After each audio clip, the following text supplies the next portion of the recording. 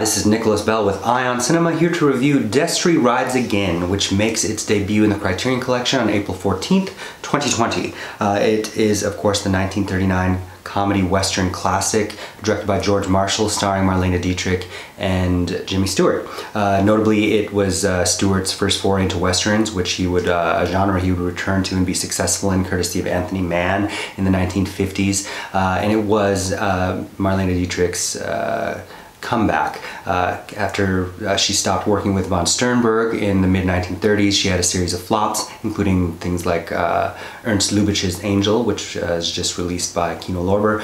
Um, and was considering retiring until she was lobbied by the producer Joe Pasternak. Uh, so in short, it's, uh, it, it's one of the first examples of a great comedic western, even though it's a remake uh, of an earlier film, uh, about uh, a fictional town called Bottleneck, uh, and Brian Donlevy runs the local casino, but he cheats people in poker games and they kill the local sheriff.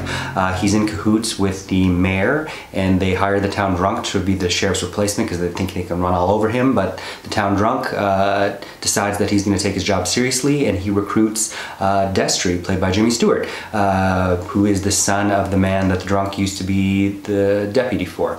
Uh, so in short, uh, Jimmy Stewart, who's uh, anti-violence and anti-gun, comes to town and tries to whip everybody into shape, although his romance with uh, Frenchie, who is in cahoots with Brian Donlevy, uh, kind of throws a monkey wrench in that. So one of the most famous sequences of Destry Rides Again is the cat fight between Una Merkel and Marlene Dietrich uh, in the saloon, which was uh, unchoreographed and shot in one uh, take uh, and looks amazing. Uh, they get water dumped on them to stop the cat fight, which that take happened a couple times, much to the chagrin of both of them.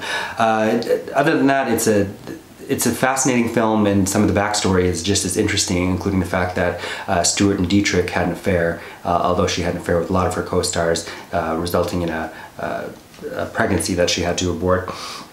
Um, the look of the film is, uh, the look of this release, it's a 4K restoration, it looks amazing. Uh, the extra features include an interview with film critic Imogen Sara Smith, uh, an interview with a Jimmy Stewart biographer, uh, illustrated audio excerpts from a 1973 AFI interview with Marshall uh, in the 1945 Lux radio adaptation where Jimmy Stewart reprises his role uh, and Joan Blondell uh, steps in as Frenchie. Notably Marshall, who's probably best known for How the West Was Won, um, remade this film in 1954 as Destry, starring Audie Murphy, uh, and then of course uh, Dietrich's was uh, performance was uh, made fun. Well.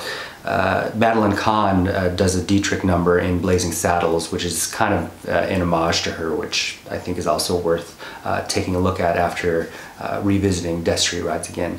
I'd give the film three and a half out of five stars, and Criterion's release four out of five. Thank you. Hey, this is Eric from IonCinema.com. If you want to support us, subscribe below.